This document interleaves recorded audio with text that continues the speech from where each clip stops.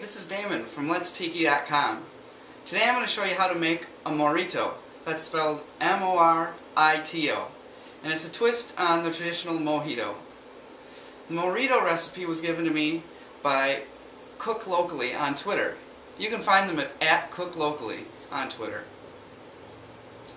What makes the morito different from the mojito is that instead of using mint leaves, we're going to be using basil, and instead of lime, we're going to be using lemon.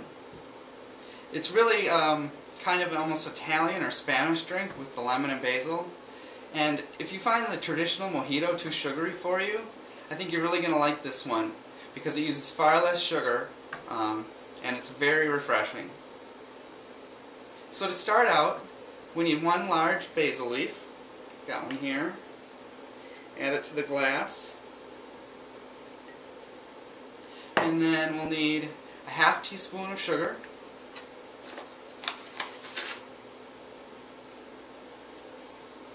Now you want to actually use real sugar instead of a sugar syrup because when you muddle this in a few few seconds, um, the granules of sugar really help bring out the oils from the lemon and the mint leaf. So then what we need is two slices of lemon, and then we want to muddle this. If you don't have a muddler, you could also try a wooden spoon. When you muddle, you want to just gently muddle over the fruit and the leaves. And this goes, is the same for the mojito as well. Because um, you don't want to tear the leaves. All we're trying to do here is release the juice and the oils from the lemon and from the basil leaf. And right away when you start to muddle this, you get great smells of, from the lemon and from the basil. Mm, it smells really good.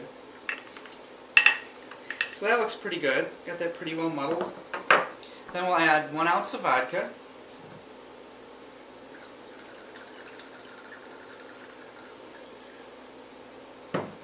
And then um, we'll add some ice.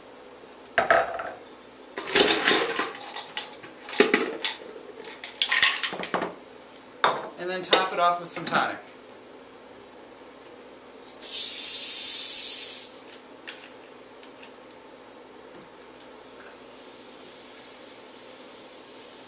There we go.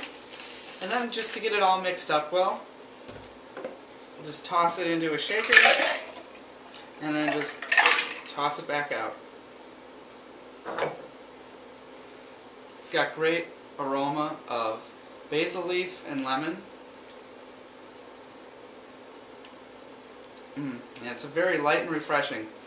The taste of the basil, I was kind of wondering how that would be at first, but it comes out really well and mixes great with the lemon flavor. So thanks to Cook Locally for your suggestion. And if you have a suggestion for me, just let me know. You can find me at letstiki.com or on Twitter at, at letstiki. Mahalo.